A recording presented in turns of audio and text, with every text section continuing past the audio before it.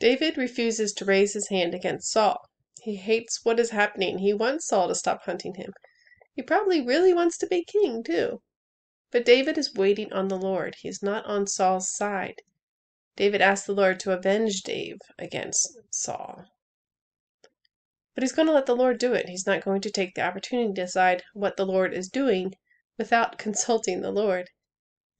He knows God well enough that David doesn't believe it is right to raise his hand against the anointed king. It's also a good lesson in treating others the way you want to be treated. It also reminds me of Jesus when they wanted to make him king.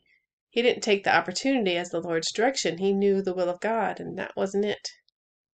David trusts the Lord to defend and avenge him, not just protect him.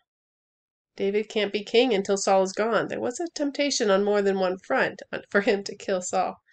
But he won't do it. He won't take matters into his own hands. Human reasoning says that someone will have to kill the Lord's anointed in order for David to be king, unless they just want to wait for him to die of old age. I'm sure humans could talk through many lines of justification. When you catch yourself justifying and reasoning, stop. Put the matter into God's hands and wait for Him to direct your steps or act on your behalf. But it should always be in His hands, whether or not you are waiting or acting. It never should be us relying on the methods of man. It should never be us leaning on our own understanding. We need to rely on Him for everything. When He speaks the promise, He will bring it about. We keep the endurance of faith. Wait on the Lord, be of good courage, and wait.